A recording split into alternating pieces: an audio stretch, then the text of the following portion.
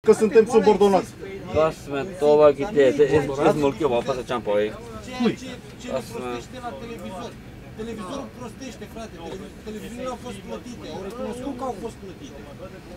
Ce vreți mai mult, mă, frate? Au ieșit, au ieșit savanți care au Olisiko ne agimu man, care Suntem vânduți ca câine.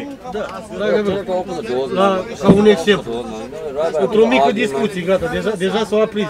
Dici, dici. Salutare! Numele meu este Panduțu și n-am mai făcut un vlog de Dar pentru că astăzi călătoresc pentru prima dată după foarte, foarte mult timp, m-am gândit să vă fac un vlog în care să vă prezint cum este să călătorești în pandemie.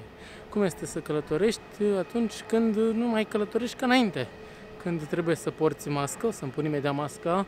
Suntem aici la Luton Airport pentru că mă întorc în țară o perioadă uh, pentru că trebuie să rezolv niște chestii. Mă rog, sper să pot să mă mai întorc la cum evoluează situația.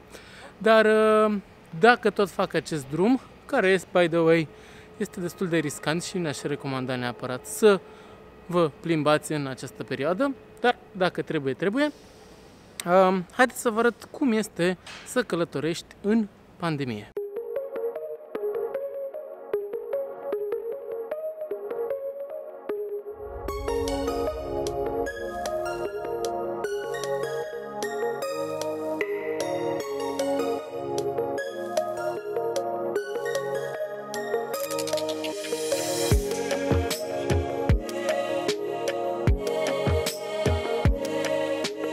Na bun, momentan totul se desfășoară ca și până acum. N-am avut voie să filmez evident la security check acolo, dar mă rog, toată lumea poartă mască.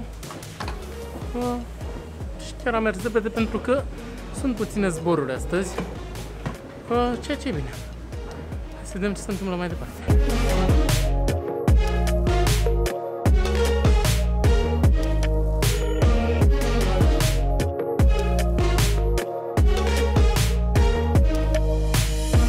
Ok, în sfârșit primul lucru diferit față de cum era înainte. Uh, Majoritatea magazinelor din uh, duty free sunt închise. Au câteva de haine și de unde poți să cumperi și chestii, ciocolată, apă, nu știu ce. Ia uite aici WH Smith este închis. Aici era super aglomerat de obicei. Și nici restaurante, nici nimic. Ceea ce e un pic creepy așa că de obicei era plin de oameni pe aici. Acum suntem așa, câte unul, doi, distanțați.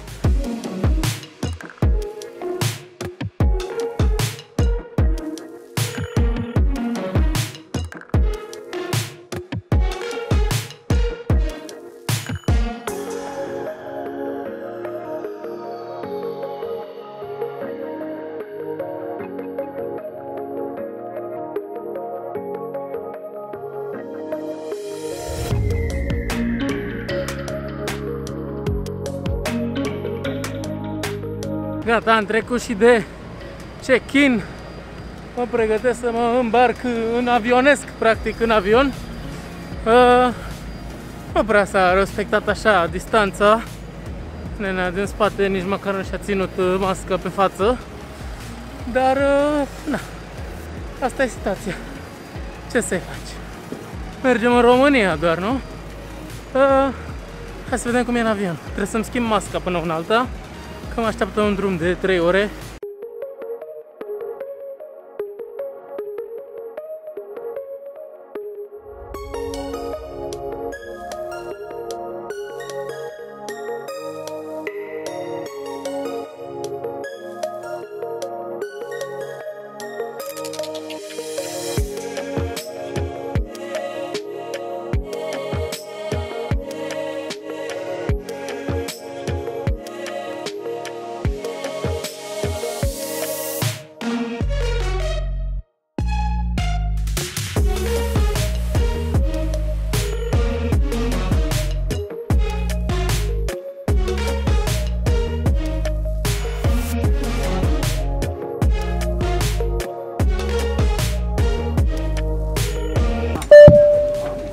Deci cum sunt oamenii ăștia, nici nu, nici da, nu s-a oprit bine avionul, că s-au ridicat, gata, și, și bagajele, repede, repede să ne luăm bagajele.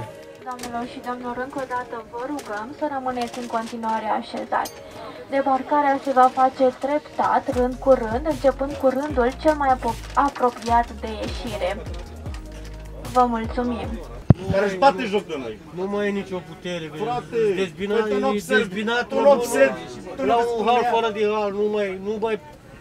Adună tu 10 inch, 10 inch, Păi tu adun, nu vezi, adun. sunt egal cu zero. Păi și atunci ce zici că să Tu nu face? Ce observi, mai face? Nu unul mai face singur ne arată că nu este. Cum poți să spui tu mie că suntem subordonați?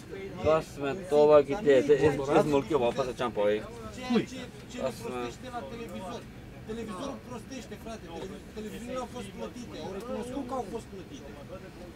Ce vreți mai mult, mă, frate? Au ieșit, au ieșit savanți care au Oskar na agi mu man e man. Suntem vânduți ca câine. Da, dragă Cele meu, că open the doors. la, ca un exemplu. Într-o mică discuție, gata, deja, deja s-au aprins. De ce? De ce? Recording. Că unul e doctor, cu unul e Câtă corupție este Nu în se țara poate asta. avea un Câtă dialog. corupție. Arată-mi vreunul care a făcut ceva în țara asta de timp de 30 de ani. Nu, eu mă uit pe net, nu mă uit pe... Ceaușescu a făcut făcut 26 de ani, N-a 24 făcut de ani. nimica. N-a făcut Ceaușescu. Dacă era Ceaușescu acum la ora actuală, știi ce le făcea la ăștia? Le punea pistolul în cap. Îți Spun sigur că îi râdea de ei. Râdea de ei. Nu, dar, tu, dar Ceaușescu știi ce a făcut? Râdea de Dar ei. știi, Ceaușescu știi ce a făcut în 24 de ani? A fost. A, f- a făcut. A făcut. Dar ce a făcut alții după el? A, a demulat. Da, Bun, uh, în spiritul tipic românesc, oamenii s-au ridicat de când s-au, uh, s-a oprit avionul, dar am ieșit uh, câte 50 de oameni. La revedere! Ca să nu mă filmesc, așa e protocolul, am învățat.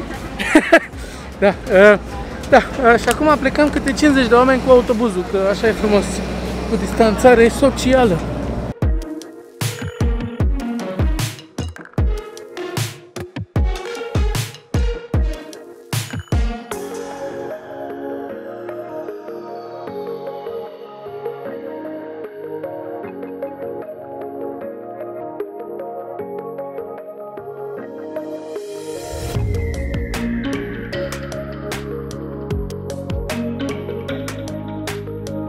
Și gata, am ajuns în țară. Uh, da, ce să zic. A fost un zbor ca de obicei, doar că am purtat măști. Și sincer să fiu, chiar nu e așa rău să porți o mască 4 ore cât am purtat-o eu acum. Uh, în afară de oamenii care fac aceleași chestii ca de obicei, gen aplaudat la final și se ridică imediat de pe scaun și pe urmă se miră de ce nu s-a deschis și avionul, că e, să gândesc că e ca un autobuz. S-a oprit uh, avionul, gata, poți să ieși. În plus ne-au scos câte 50 de oameni pe autobuz, deși cred că am fost la un moment dat mai mulți. Uh, și n-a mai trebuit să completăm nicio declarație la intrarea în țară, doar ne-au verificat pașapoartele ca de obicei. În rest, uh, o experiență interesantă, oameni care evident nu respectă regulile, așa că mai bine better safe than sorry și purtați mască și respectați regulile că de asta sunt făcute. Eu Sper că v-a fost util acest uh, clip. Nu recomand neapărat să zburați decât dacă este necesar, mai ales în perioada asta, pentru că este un risc destul de mare, fiind foarte mulți oameni în același loc care pun mâna pe chestii și așa. Acum, ce o să fac eu când ajung acasă? O să uh, mă dezbrac de toate hainele, o să fac un duș, le bag pe toate la spălat și pe urmă îmi văd de viața mea ca și până acum.